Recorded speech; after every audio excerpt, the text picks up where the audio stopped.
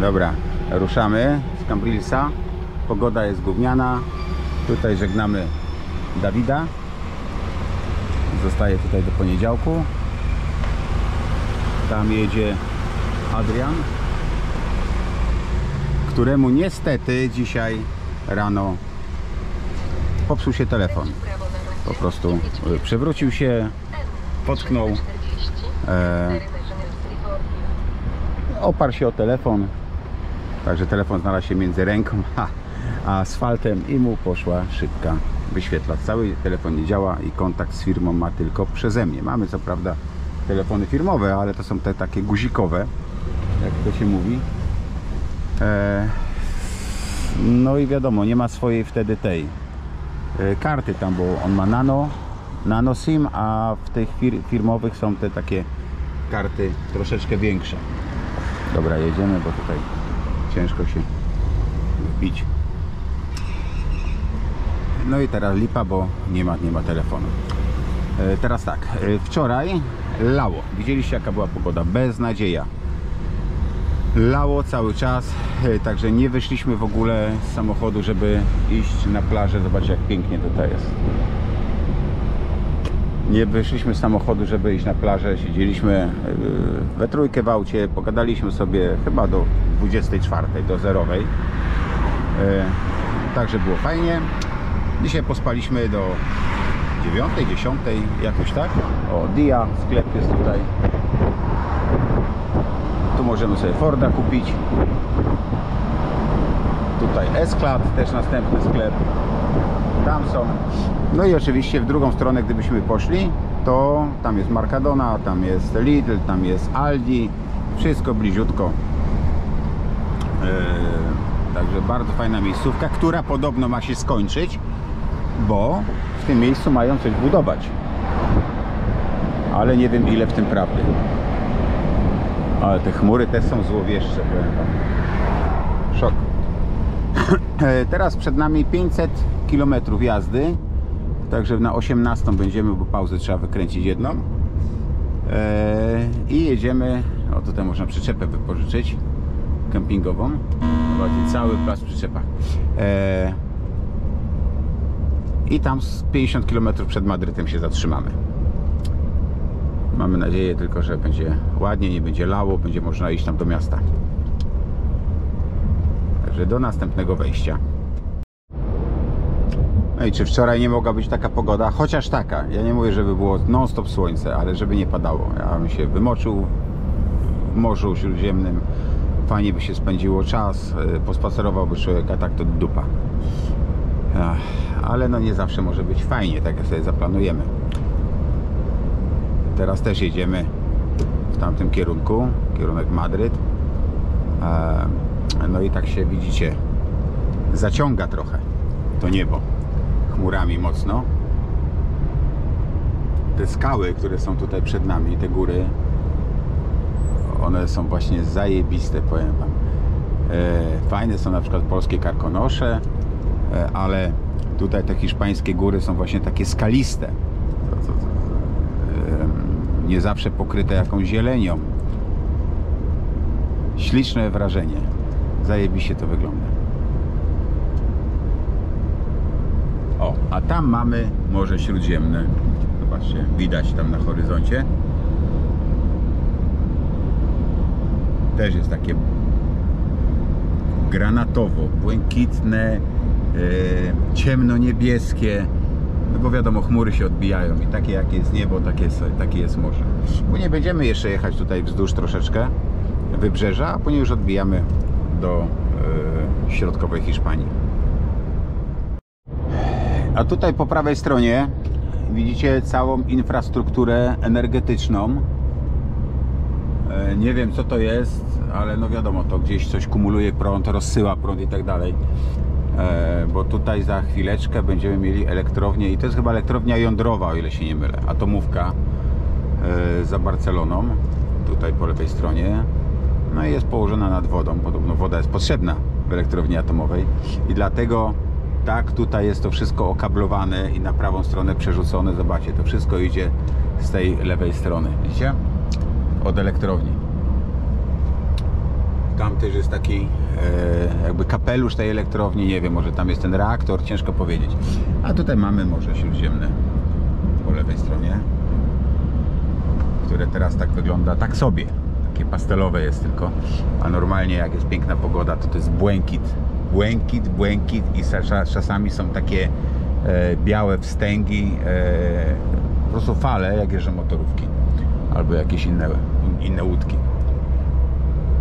Także tutaj się przejeżdża właśnie koło takiej elektrowni. Tam w serwisie. O. Po wyświetlacz 600 plus i kurwa jeszcze ma telefon, poczekaj.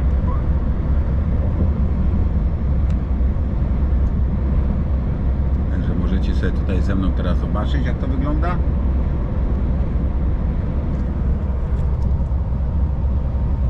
I spójrzcie, przez cały, cały czas z tej lewej strony na prawą są przerzucone y, okablowanie. I później tutaj górami ten prąd gdzieś jest rozsyłany.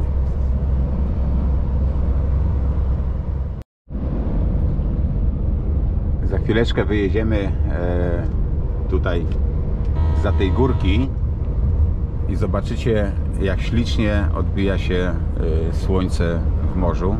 Jak to wygląda. Tutaj cały czas się jedzie teraz wzdłuż wybrzeża e, zachodniego wybrzeża Hiszpanii. Zobaczcie, te skały, to wszystko musieli tutaj wykuć, żeby tą autostradę e, pociągnąć. I za chwileczkę po lewej stronie zobaczycie morze. O, już mamy. Spójrzcie. Na pewno woda jest cieplutka. Wykąpać by się można było, tylko jak? Jak teraz się wykąpać, jak jedziemy? No jak? A jak później już odbijemy w kierunku Madrytu, to już w ogóle żadnej tam wody nie będzie, tylko pustynia. Ale może na powrocie, może się uda.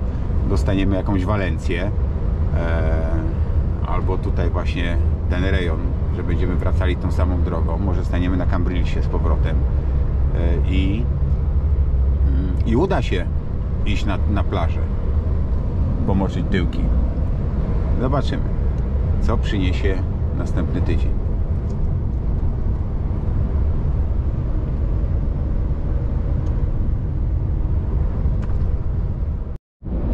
Tam daleko, daleko na horyzoncie po prawej stronie, tam był już port i Castellon właśnie. A tu jeszcze mamy dzielnicę.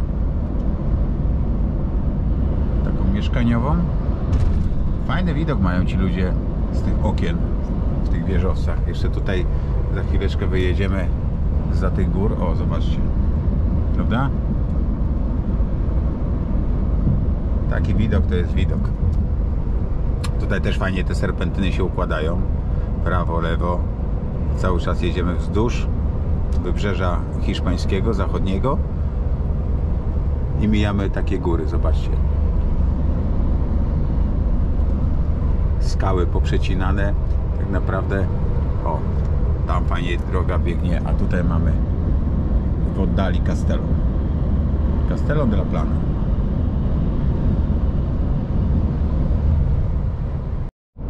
Dobra, wyskoczyliśmy na autostradę numer 3, która prowadzi nas praktycznie do samego Madrytu. Tutaj kurczę, muszę się wbić, ale niestety Hiszpanę na styk, na styk osobówką, żeby mnie nie wpuścić. No. Dajcie spokój. 158 km. Teraz zobaczymy, co to za gamoń. Prawdopodobnie mnie wyprzedzi zaraz. O. No, jakieś służbowe auto. To wiele też tłumaczy.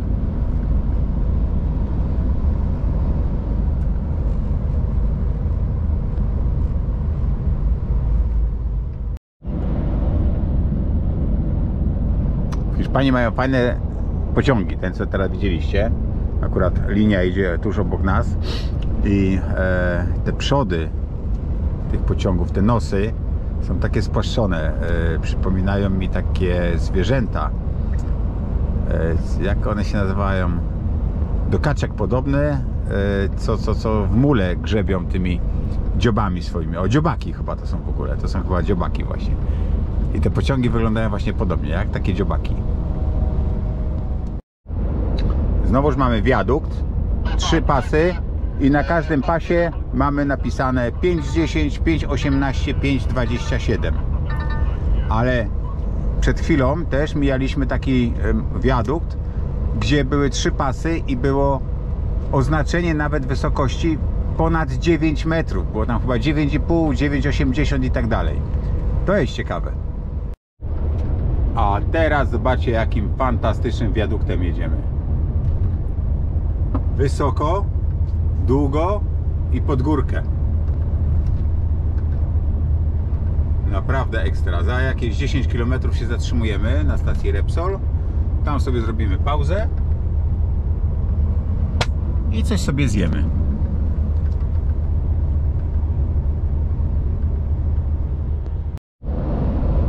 A to nie wiem co to jest, ale Amerykanin jakiś, amerykański samochód, wiem, lata chyba 60.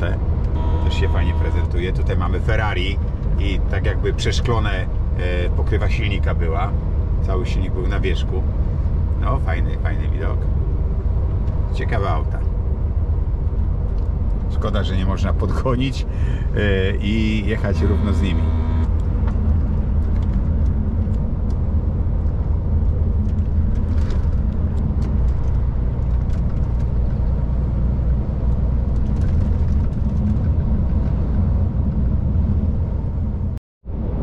Zjeżdżamy na Repsola e, i tutaj zobaczcie, o ile wcześniej się zjeżdża na e, stację benzynową. W Hiszpanii właśnie na to trzeba zwrócić uwagę, że te stacje mogą być gdzieś dalej, gdzieś mogą być odsunięte i, i nieoczywiste jest wcale to, że ona będzie tuż przy autostradzie i albo postawić sobie punkta na mapie, e, żeby nawigacja doprowadziła, albo bardzo ostrożnie e, jechać i patrzeć, gdzie jest zjazd, bo można zjazd przeoczyć i po prostu sobie takiego, taką stację benzynową e, miniemy. Zostanie ona gdzieś tam z boku i, i koniec. Nie zatrzymamy się. O, a tutaj sobie wjeżdżamy na Repsolka. Proszę bardzo. O, jest to Ferrari, zobaczcie. Ja specjalnie przejadę obok tego Ferrari. Dojechałaś do wyznaczonego Zobaczcie, punktu jakie zajebiste. To te trzy samochody razem po tutaj stronie. jechały, spójrzcie.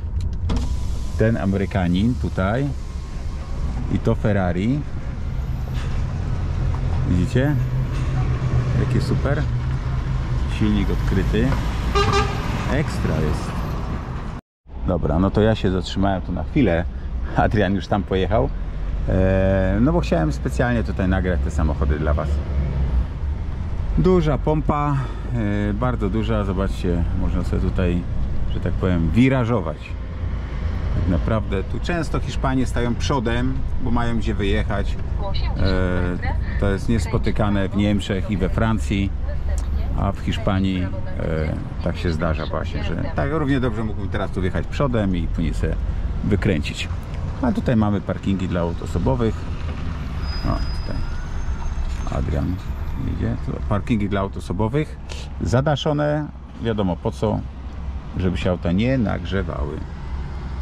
Dobra, jak Adrian wiedzie, to ja się tutaj wykręcę. I będzie obiad. O, tam Guardia Civil podjechała. Dobra, mam nadzieję, że ustanie. E, a tutaj przyszedłem jeszcze, bo dojechało trochę tych samochodów. Chciałem Wam pokazać. To jest jakiś zlot chyba, bo się spotykają e, Hiszpanie. E, Mam nadzieję, że nie będą mieli nic przeciwko temu, że nagrywam tutaj to. E, No ale chcę Wam pokazać, jakie samochody e, tutaj stoją. Zobaczcie, Pontiac jakiś 350 starawy, e, ale no to Ferrari tutaj, tam jest chyba Chevrolet, Corvetta. Także postaram się Wam tutaj, tutaj następna Corvetta, także pokażę Wam tutaj te samochody. A teraz Wam pokażę tutaj te samochody. To jest korweta, jakaś RMJ chyba. Nie znam się aż tak bardzo, ale samochody są przednie, naprawdę super to wszystko wygląda. Mamy tutaj dwa zabytki, jeszcze e, tutaj mamy Pontiaca 350 Firebird. Tak wygląda w środku. No klasyk, te samochody mają smaczek, one są śliczne, spójrzcie na felgi, jak to fantastycznie wygląda. zadbane, wypielęgnowane, wychuchane, wydmuchane. Pontiac 350. Tutaj mamy to Ferrari e, F430. Tutaj na lusterku mamy symbol tego auta. No i jest, że jest bez dachu. Dach jest schowany, to możecie sobie zobaczyć jak wygląda w środku. Praktycznie się leży. Kierownica wygląda jak w samochodzie Formuły 1, prawie. Tutaj mamy silnik. Silnik jest przykryty yy, przezroczystym materiałem. Zobaczcie nawet jak fajnie wygląda tutaj ta klamka. Jest malutkie, zobaczcie w moim, jak palec praktycznie. I zamek na kluczyk. No ładnie to wygląda, nie powiem, żeby było brzydkie. Bardzo ciekawe. A jest chyba z takiego salonu się wywodzi w Monaku. Teraz z tej strony obejrzymy ten samochód. No i tutaj jest tak. Przejdziemy do następnego. Tutaj mamy e, Chevrolet, chyba to jest Corvette Z6. Chevrolet Corvette Z6. Spójrzcie jaki jest niziutki. Jakie ma zaciski wielkie i tarcze hamulcowe praktycznie wielkości e, wielkości e, felgi. O, to jest ten. To jest właśnie model tego, tej korwety. W środku wygląda w ten sposób. Nie będzie widać tutaj dobrze, bo będzie się odbijało w szybie. Czerwono-czarne dodatki, korwet Z06. Także taki smaczek. Tutaj znowuż mamy Pontiac. Stary. Też piękne felgi. W środku wygląda w ten sposób. Tak jak tutaj widzicie. A tutaj mamy e, Honda Prelude. To są już takie bardziej nowoczesny ten samochód. Nie odstaje tak jak od tych rocznikowo, ale też bardzo fajnie, to już też jest klasyk. I tutaj mamy Pontiaca Firebirda. E, model jakiś 350, nie znam się. I w środku wygląda w ten sposób. Prawda, że ładny?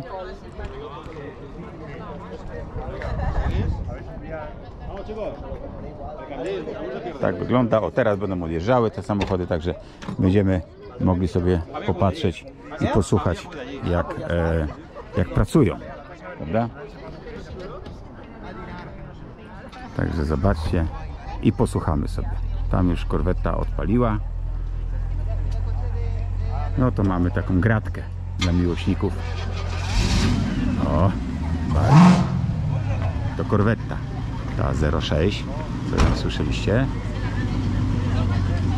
Tutaj następna.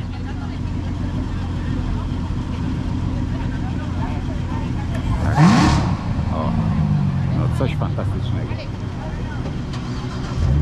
Dźwięk, dźwięk, dźwięk tego samochodu jest oszałamiający.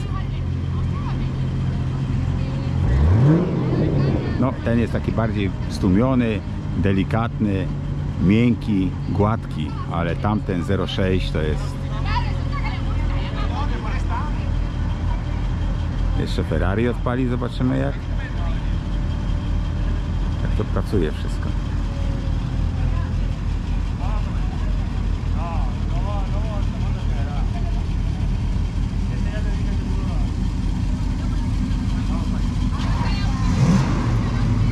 Auto.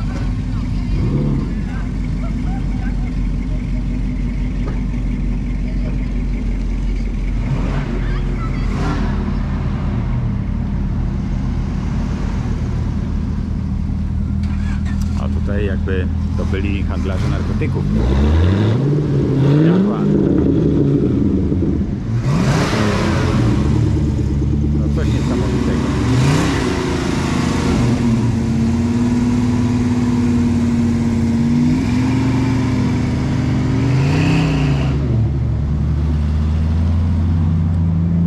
A Ferrari nam pojechało tam. No, także mieliśmy okazję e, popatrzeć, no bo oni wszyscy wyjeżdżają na e, autostradę, czyli dojechali, do ronda i prawdopodobnie jak wyjadą na autostradę, to jeszcze usłyszymy ryk tych samochodów, jak będą przejeżdżali tam dołem.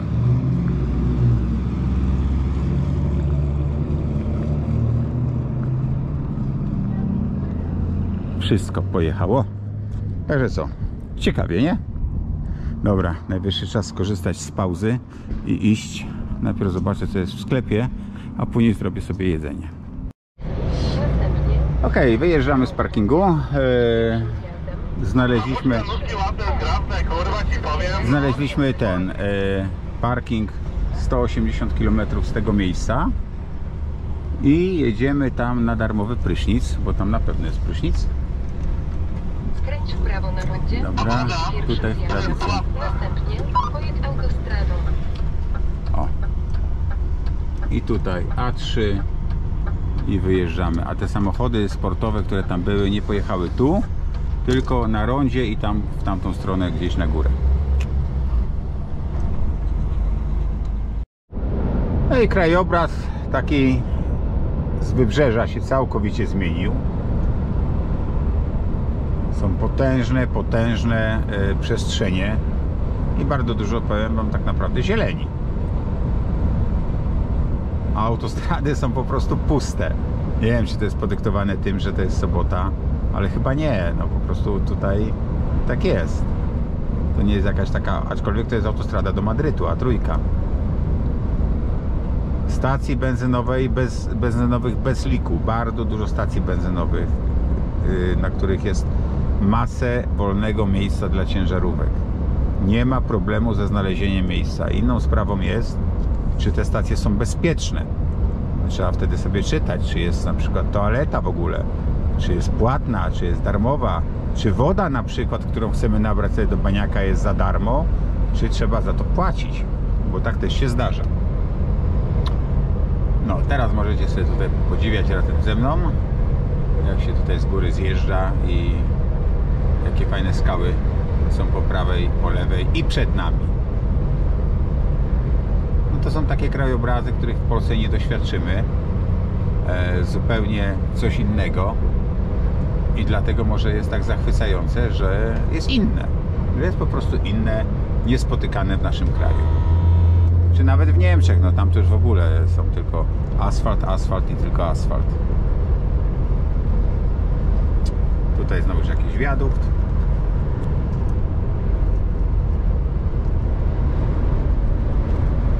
O, spójrzcie tutaj. Ależ cudownie. Dama jakaś. No fantastycznie to wygląda.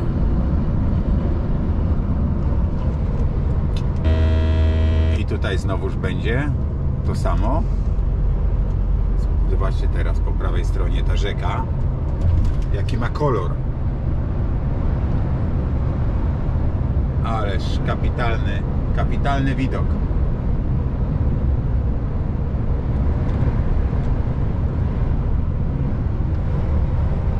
I po tej stronie ona tam właśnie chyba do tego zbiornika, gdzie jest ta tama. Tak jest. No teraz włączymy światła, bo będziemy wjeżdżali prawdopodobnie widzę do tunelu. No ależ widok cudowny. I wbijamy się w skałę. Nie za długi ten tunel. O, radar nawet. Jest. Zobaczymy teraz po prawej stronie, jak tutaj to będzie wyglądało.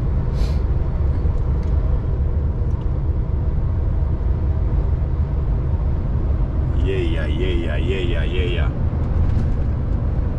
A tutaj tak. Chciałoby się popatrzeć i na prawo, i na lewo, ale tak się powiem wam nie da. Tak się nie da. No kolor tej wody jest obłędny. Eh, Castilla-La Mancha, prowincja de Cuenca albo Cuenca. I tutaj teraz będziemy mieli podjazd.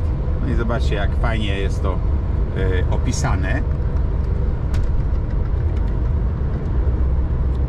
I kolor tych skał, e, tak no czerwień, po prostu jakbyśmy starli cegłę i ją tutaj usypali.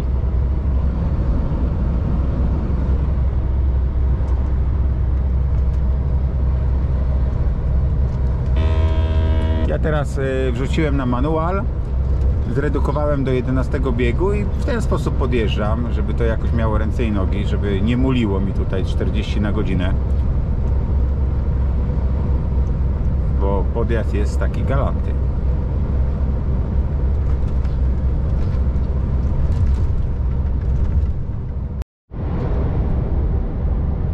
Zjeżdżamy na parking. e, W aplikacji Track in e, Parking. Track Parking, bo jest Trans Parking i Track Parking. E, No to znaleźliśmy informację, że właśnie tutaj na tym parkingu jest darmowy prysznic. Bo niestety w Hiszpanii się też płaci. Może nie 3, ale 2 euro są prysznice. E, A tutaj jest darmowy. Na poprzedniej stacji stanęliśmy, Adrian chciał nabrać wody, to woda też była płatna, żeby nabrać. A my sobie tutaj zjedziemy i zobaczymy, czy informacja w track parking będzie zgodna z rzeczywistością.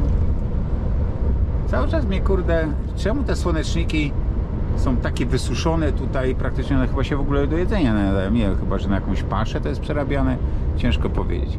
Dobra, zjeżdżamy na Repsola. Lekko prawo. A. trzy, To mi się tutaj podoba w Hiszpanii, że, E, 901. Jest tak dużo miejsca, że tutaj ciężarówka to po prostu stoi na przykład jedna na takim potężnym parkingu. Jedna, jedyna.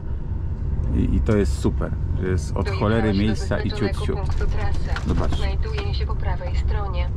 Patrzę, gdzie tutaj sobie stanąć, bo jest za dużo miejsca, żebyśmy...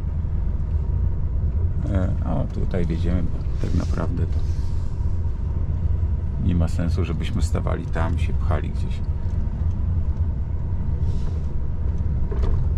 Ja stanę tu, Adrian obok mnie i będzie... O, w cień. Dobra.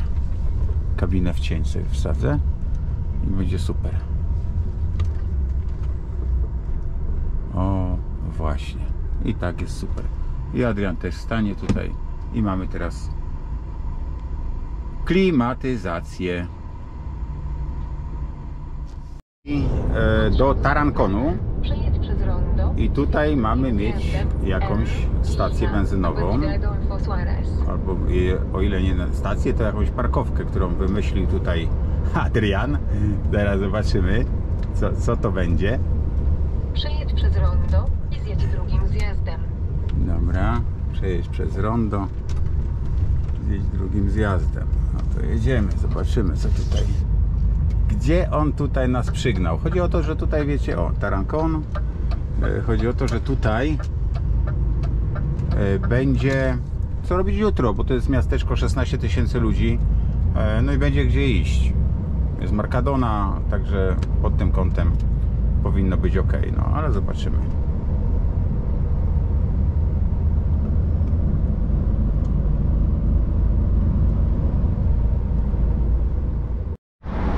Dobra, powiem Wam tak, mamy rondo i teraz tutaj na tym rondzie to będzie tak ciekawie, że nie możemy skręcić tutaj w prawo, tylko musimy skręcić tu i zaraz tutaj w tą uliczkę. Tutaj wjechać. O, tutaj. Skręć w prawo. bo inaczej byśmy nie wjechali na stację. A nie ma żadnego zakazu, tylko jest ciasnawo trochę. O, i tędy sobie wjedziemy e, na tą parkowkę, którą tutaj sobie wymyśliliśmy. Ludzie się na nas patrzą jak na idiotów, powiem Wam, bo faktycznie tutaj są same osobówki, no ale nie dojedzie się inaczej na, na to miejsce parkingowe. Jest to ciasnawo. Tu jest jeszcze kafejka.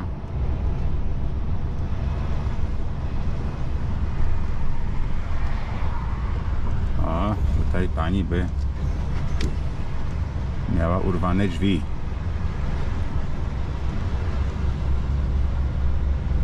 Dobra. Cała ta strefa gastronomiczna została ominięta. No zobaczcie jak ładnie. No mówię, no będzie gdzie iść tutaj, no byśmy stanęli gdzieś na jakiejś stacji benzynowej e, przy autostradowej, no to dupa blada, no tylko tam siedzieć, nie wiem, książkę czytać. I Fajnie jest jeszcze jak e, nie, pada deszcz, no to wtedy nie szkoda tego czasu, nie? Ale o, i to jest tutaj, to jest ta parkowka. I tutaj się stanie. Chyba tutaj. Do wyznaczonego punktu trasy. Znajduje się po prawej Tam jest stronie. stacja benzynowa, tak, to jest tutaj. Tylko teraz gdzie tutaj się ustawić? Zobaczcie, nie ma gdzie się ustawić.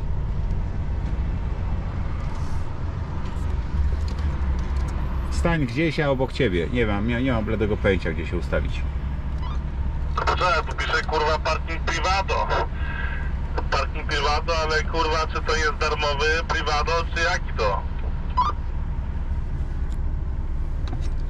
A, tam jest napisane na tej. E... A ta cepsa tam dalej? Co? Ja bym tu się kurwa ustawił na razie gdziekolwiek, wszedł do baru i zapytał się kurwa czy jest to gratis. Bo jak nie, to sobie tu wyjedziemy i tam sobie zrobimy weekend na wzdłużkę, nie? No dobra. No to ustaw się idź, to się dogadasz.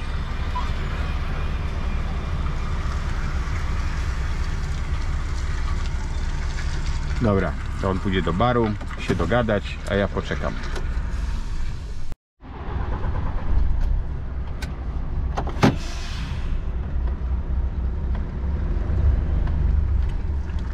Dobra, to co, wyjeżdżamy, bo to jest prywatny parking, płatny. Po 50 E, gdybyśmy zjedli coś w restauracji, to byśmy mieli za darmo.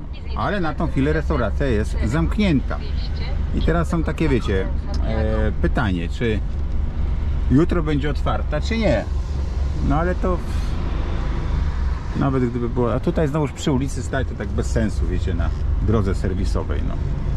No nie będziemy za wszelką cenę się tutaj zarzynać, żeby e, żeby tylko zostać w miasteczku. Pojedziemy już do Antigoli, tam gdzie e, mamy rozładunek. I obo, tu mamy Markadonę, no to o tyle dobrze, że tu sklep był, nie? I teraz będziemy jechali przez to miasto i ten e, będzie patrzył Adrian, czy można gdzieś sobie tutaj stanąć.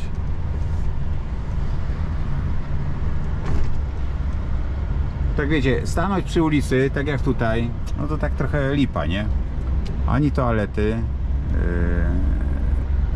ani się umyć, ani się ogolić, to tak no, bez sensu trochę.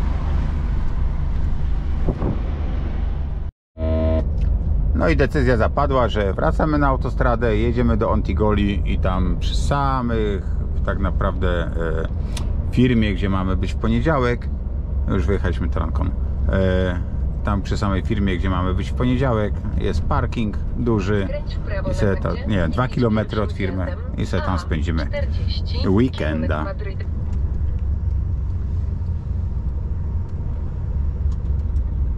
Ale słońce daje.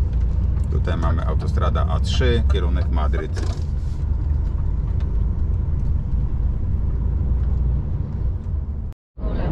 E, I teraz tak, zatrzymamy się na parkingu, który jest po lewej stronie. Tylko trzeba najpierw pojechać przed siebie, zawinąć i wjechać na ten parking. Teraz zobaczymy. To jest chyba tutaj po lewo będzie. Galp. Zobaczcie, jest 20 yy, i jeszcze słoneczko świeci. I fajne, te chmury są takie prawie fioletowawe. O, tutaj będziemy stali. Zobaczcie.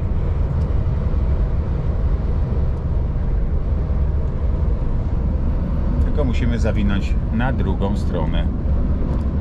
Po 800 metrach zjedź 53, kierunek. I tutaj sobie staniemy. A teraz zawijamy e, tam, gdzie właśnie. A tam jest. e, Są te. Gdzie będziemy się zrzucać. 53. w tym w tamtym rejonie. Teraz jeżdżamy tutaj, zawiniemy i na parking. Tak ciasno było tutaj na wjeździe na to rondo. Tam były poryte te, te poniszczone te, te no te blachy, które tutaj są, tam ledwo człowiek się zmieścił. Jak przód wszedł, to ty już jechał po tych blachach tutaj. Tu, żeby z autostrady właśnie się dostać, powiem wam, e, na Torontko. Na, na tych wywijasach tutaj, wiecie? Szalenie ciasno. No i teraz tutaj, tu zjedziemy Po 200 metrach i się wrócimy. skręć w prawo, następnie skręć w prawo.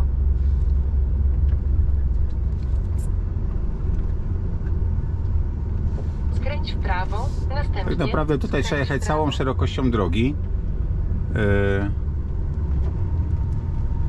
żeby tyłem nie zahaczyć o te barierki po prawej stronie. Piekielnie ciasno tu jest, naprawdę.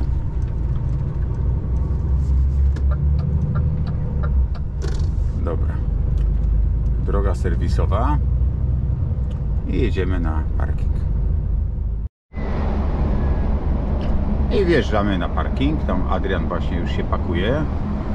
Zobaczcie jakie chmury tutaj są. Wygląda jakby szła taka burza, burza piaskowa, nie? O dobra, on tutaj wjedzie, wywinie. Gdzie sobie tutaj staniemy? Tylko zobaczę gdzie. A no tutaj chyba. Koło. Zobaczę, niech on się ustawi. Gdzie stajesz? Nie ma chłodników, no wiesz? No tak, trzeba poszukać, żeby chłodnie nie było. Tutaj są dwie chyba chłodnie. chyba dwa auta zmieszczą, kurwa, muszę przymierzyć. Tu jest chłodnia jedna, chłodnia druga, chłodnia trzecia. Następna chłodnia. Same chłodnie są, kurde. Jadę to e, po, podjedź, zobacz, czy się zmieścisz. No zaraz. A, tam żeby zjechać, widzicie? Tam gdzie Adrian teraz wjeżdża, to czy tam wjedzie jeszcze jeden samochód?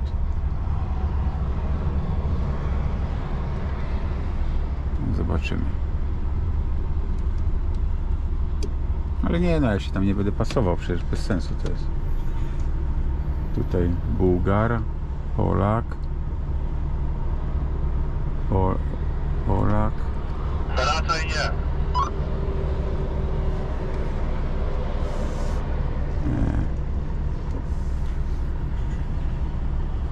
Tutaj jest jeszcze koło chłodni miejsce na dwa auta. Zapytam się, czy chłodnia mu. No najlepiej obok siebie stanąć, wiecie. No, no i tam. Właśnie. Teraz się gdzieś ustawimy.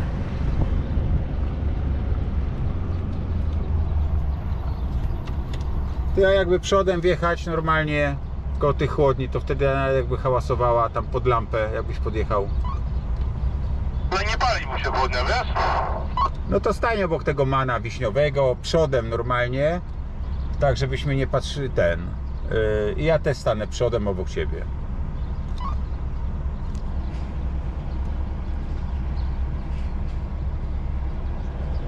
No tu jest tyle miejsca, że no. Eee, cwaniasek staje obok tej. Plandeki. Mnie wyślę tam obok chłodni, w razie czego. E, nie, nie, nie. Sofa wykombinuje coś tam. Hiszpanie powiedzieli, że chłodnia nie chodzi, ta wiśniowa. Także stajemy normalnie sobie tyłem, niech on się tutaj wpasuje ładnie. I później ja wjadę obok niego i będzie gitarra.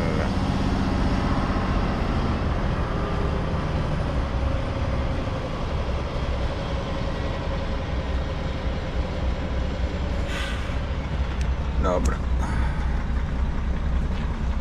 I teraz stoi. Jak ktoś tak popatrzy, jak my kombinujemy, to powie, co oni robią w ogóle.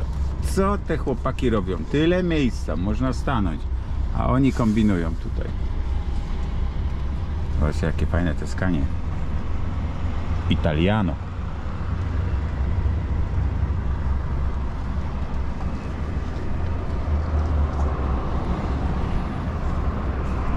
Dobra.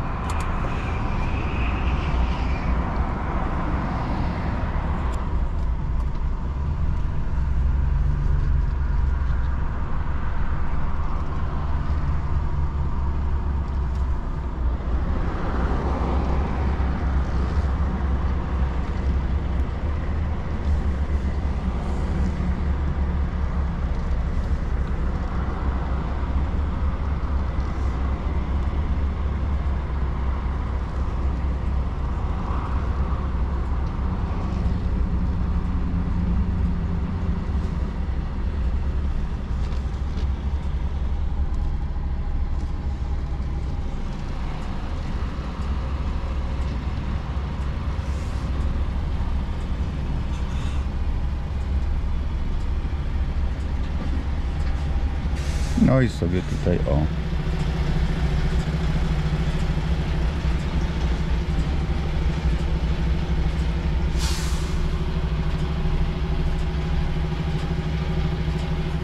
Nie wiem, czy ja tam nie mam kamienia jakiegoś, wiecie? Dobra. Tyle wystarczy. No to co, stoimy i mamy taki widok.